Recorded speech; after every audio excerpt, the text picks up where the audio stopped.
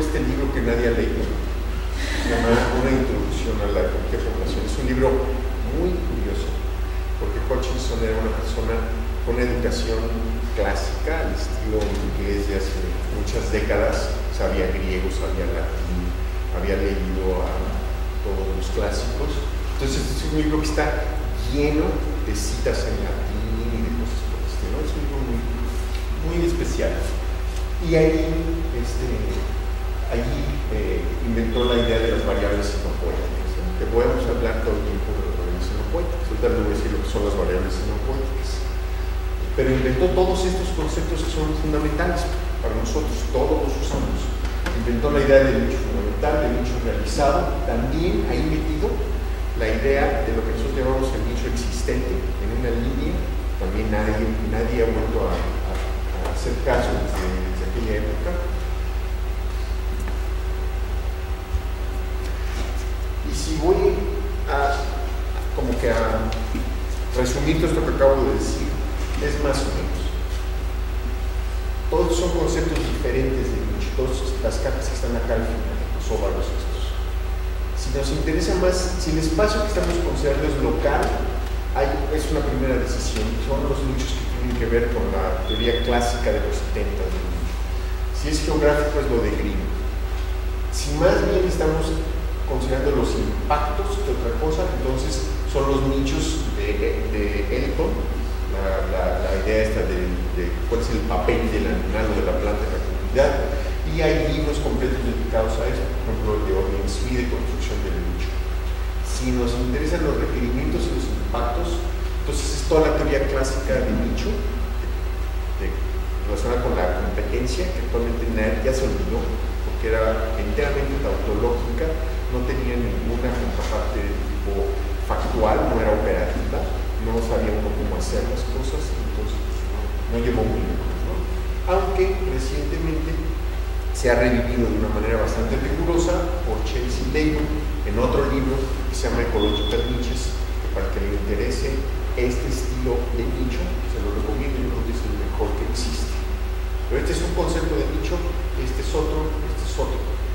Si estamos viendo las cosas más desde una perspectiva geográfica, entonces podemos preguntarnos si hay requerimientos e impactos o si más que nada hay requerimientos. Si hay requerimientos e impactos, hay un artículo bastante bueno de 73 de estos tres autores, se llaman, el artículo es sobre los ecotopos. Si nos interesa lo geográfico, más que nada los requerimientos, estamos en el concepto de nicho de crimen y en, el año 2000 Jackson y Overpeck recuperaron el término y llamaron nichos grimelianos. Y estos son los que vamos a estar hablando en este curso. Estos es lo que vamos a hablar en este curso. Cuando está uno mandando artículos a las revistas, sobre todo porque son revistas de tipo ecológico, entonces es muy clásico que le digan, pues es que no tiene nada que ver con esto no estás hablando de nichos, sabe de lo que estás hablando. No, no estoy hablando de estos nichos, estoy hablando de estos otros. Sí, Enriquito. Resucitó Griñel en el 2005. Perdón. Gracias. No sé por qué decir Ok, sorry. 17. No resucitó porque yo sepa. No se ha muerto en el sentido de que sigue regresándose hasta sigue publicando. Una persona de gran creatividad, pero bueno. Este, entonces, de esto es de lo que vamos a estar hablando. Este diagrama nos llevó varios años para poder realmente entender qué es lo que estábamos haciendo y cuál era. Y esto es una cosa de tipo teórico, o sea, es de conceptualización, de saber de qué estamos hablando. Eh,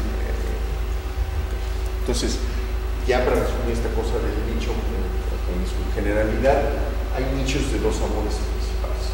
Los del sabor de Green son condiciones, condiciones bióticas y bióticas de los lugares donde vive una especie.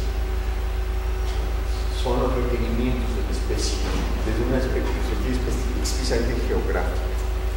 Este, como por ejemplo decir, habita los bosques de encinos en torno a zonas montañosas secas. Ese es el favor de Green de los nichos y luego el otro es el de los efectos de la especie en su medio. El predador, el herbívoro, el predador especializado en presas muy pequeñas de menos de 10 gramos de tamaño. Ese es el nicho del peito. ¿ok? Los dos son importantísimos para el área de distribución. O sea, eso, eso de entrada va. El área de distribución, sobre todo si la ve uno a muchas escalas, no puede uno prescindir de uno o del otro, pero en lo que nosotros hacemos con los algoritmos que hacemos, con los datos que tenemos, esos son sustantivos. ¿Ok?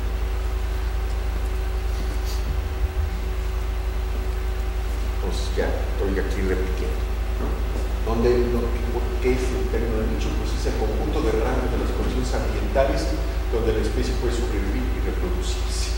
En otras palabras, donde la tasa intrínseca de crecimiento, que es un concepto poblacional, es positiva. Esta este, definición, podríamos habernos prescindido la palabra nicho. Ahora, ya como que 10 o 15 años después, yo pienso, si hubiéramos sabido las cosas que sabemos ahora, yo creo que no le habríamos puesto nicho a estos conjuntos de condiciones ambientales donde la especie puede funcionar. Realmente se le haber llamado condiciones o requerimientos o rangos de requerimientos. La palabra nicho tiene este problema de que, de que tiene, sin exagerar, no menos de 10 o 15 sentidos y significados. Y eso hace la comunicación muy difícil, muy, muy difícil. Entonces, tal vez no deberíamos ni siquiera usado la palabra nicho, pero pues la usamos y ya es demasiado tarde. Entonces, fundamental y realizado. Fundamental son las condiciones de tipo fisiológico que hacen que una especie pueda tolerar ambientes de un extremo o de otro. Es una cuestión que tiene mucho que ver con la fisiología de la especie.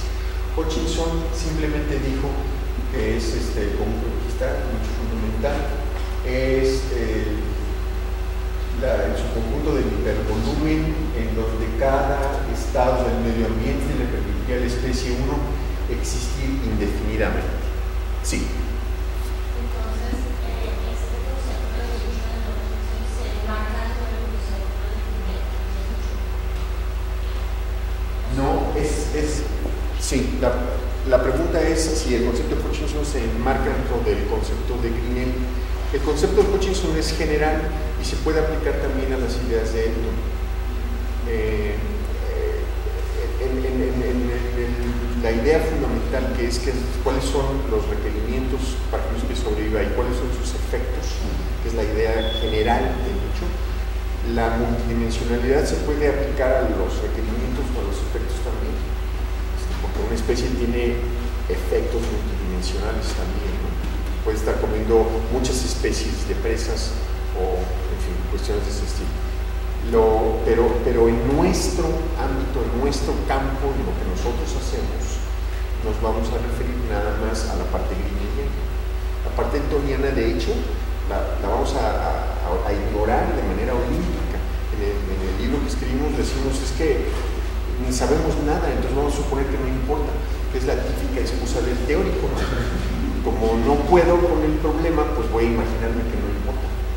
Este, sí importa, sí importa, pero tal vez a ciertas escalas importe menos, que eso es lo que nosotros realmente hemos llegado a, a creer parte como resultado de análisis matemáticos y parte como resultado de la experiencia de que llevamos décadas utilizando datos que no hacen ninguna referencia a si el animal es un depredador o si es una presa o si esas cosas y sin embargo pueden hacer modelos que funcionan bastante bien. Entonces eso sugiere que el papel de la parte eltoniana no es muy grande a cierta escala. ¿no? A otra escala es esencial, pero a ciertas escalas no demasiado. Entonces sí se puede utilizar el concepto de Hutchinson multidimensional para varios de los no solo el grinnelliano, que será tu problema.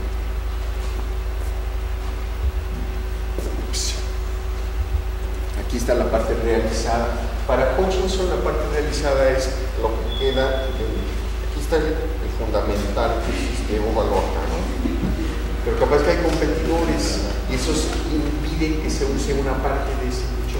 Lo voy a poner luego en otros diagramas, no en mi camiseta. Van a, va a quedar más. Hutchinson nada más consideraba competencia. Ahora sabemos que también importa depredación, parasitismo, peor aún, mutualismos que capaz que lo expanden y nadie se ha dedicado a trabajar sobre esa parte de interacciones positivas que tal vez hagan algo contrario respecto al nicho fundamental, capaz que lo expanden, no sabemos bien. Hay, por supuesto, en la literatura, como siempre, pioneros que lo mencionan. Entonces, para Hutchinson era la competencia nada más. Nosotros también, eh, aquí hemos tenido un debate que no sé si ya se resolvió, que es un millón, sobre si basta, si hay que incluir también en el realizado las limitaciones de la dispersión. Yo creo que sí, este, Town piensa que no, no es muy importante. Y además se puede poner ecuaciones, esto se puede poner, se puede reducir a ecología de poblaciones. Son ecuaciones de ecología de poblaciones. Esta es la tasa per cápita de crecimiento de la diésima especie en la JGésima parte del medio ambiente esta es la velocidad a la que está creciendo esta población en este lugar. Imagínense que este piso que está aquí es una retícula y cada una de, de los ladrillos es una G diferente. Entonces en cada lugar la población está creciendo o, yéndose para abajo. Y a qué velocidad crece depende de tres factores. El primero, que es la parte fundamental, dice el dicho, es la tasa de crecimiento intrínseca, que nada más depende del clima y de los recursos no hay interacciones. Esta parte se puede definir simplemente con parámetros, como son las capas climáticas que usamos. Tiene un segundo término que es son las interacciones. Para esta, parte newtoniana, aquí uno tiene que saber quién se come a quién, a qué velocidad se lo come, quién poliniza, quién es el que dispersa las semillas, quiénes son mis depredadores, quiénes son mis competidores. Es la parte difícil, es la parte verdaderamente complicada. Y tiene una tercera parte que tiene que ver con la dispersión, que es la estructura meta de metacomunidades, que es de qué partes a qué partes, de qué cuadritos a qué cuadritos se puede uno mover. Generalmente se puede mover a los cuadritos vecinos de donde está uno parado. Yo estoy parado en este cuadrito y es bien fácil moverme a los de junto. Y me cuesta esfuerzo ir a parar con los cuadritos de hasta allá. Esa es la parte que tiene que ver con la dispersión. Esta está modelada acá, es la estructura poblacional. Esto es lo que está detrás de la modelación de nichos. Lo que nosotros modelamos es este. Estamos empezando a acercarnos a modelar este. Y esto el futuro. Entre otras cosas, porque no datos. Hutchinson se olvidó de la geografía. Es algo muy interesante. No se olvidó del espacio, pero lo veía como una cosa local, como es el típico ecólogo. Yo que empecé mi vida como ecólogo de poblaciones, para mí el mundo tenía una hectárea, o dos. Yo trabajaba marcando mariposas, les ponía números en las salas, pues mi capacidad personal de movimiento en el campo pues era de pocas hectáreas, ya, ya sin exagerar como de 40 hectáreas. Entonces el mundo para mí estaba a 40 hectáreas, y también para Hutchinson. Pero lo que nosotros hacemos no está a 40 hectáreas, está en, en decenas o cientos o millones de kilómetros cuadrados. Es una escala completamente diferente, ahorita lo voy a ilustrar. Entonces Hutchinson mencionó la relación entre, entre, nichos y biotopos, que es la parte local, pero era, era a escalas muy chiquitas. Y le llaman la dualidad de Hutchinson. Este, nosotros no trabajamos a escalas mucho más altas. Y además, Hutchinson mencionó algo que se olvidó por 43 años. Fíjense, esta es una frase que copié del artículo de Hutchinson del 57. No hay razón por la cual un punto cualquiera en N, o sea, en el nicho, deba de corresponder a puntos en B, que es el espacio. Puede haber pedazos del nicho que no existan en la geografía.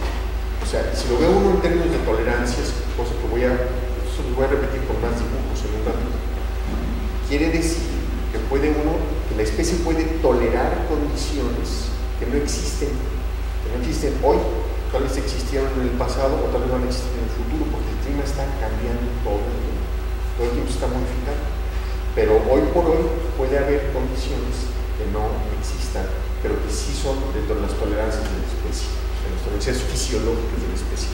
Hutchinson lo puso ahí, son una, dos, menos de tres, líneas, y a nadie más se volvió a acordar de esta idea hasta el año 2000, y que Jackson y Overbeck, son paleoclimáticos, la sacaron otra vez. Es una idea importantísima. Bueno, aquí está un ejemplo típico de la dualidad de Hutchinson. Este es el nicho para Hutchinson de dos especies y, aquí está la temperatura. Está pensando en un laguito porque él era limnólogo, cómo la temperatura va bajando y cómo el tamaño de las partículas está mezclado y más hay partículas de comida grandes más arriba y hacia abajo otras son chiquitas. Y fíjense, esto es súper importante. Está mezclando una variable xenopoética que es la temperatura. La temperatura del agua, en cierta forma, es independiente de lo que hagan los copépodos que están allá. O sea, los copépodos están afectados por la temperatura, pero no afectan a la temperatura. No hay una liga dinámica entre copépodos y temperatura. Entonces, esta es una variable xenopoética no interactúan. Mientras que acá está el tamaño de las partículas. Y los copépodos están directamente afectando el tamaño las partículas porque las están consumiendo. Esa diferencia es una diferencia esencial en la forma como modela uno. Si uno quiere modelar usando variables dinámicas, como son estas, donde hay una relación dinámica entre la abundancia de la especie y la variable de nicho, entonces tiene que usar este, isoclinas y espacios de fase y es muy complicado y no hay datos. Mientras que si usa uno de estos nada más, entonces sí, sí se pueden hacer los modelos sin preocuparte por cuál es la tasa de consumo de este tamaño de partículas por el copepo de la especie 1, de la especie 2 o de la especie 3.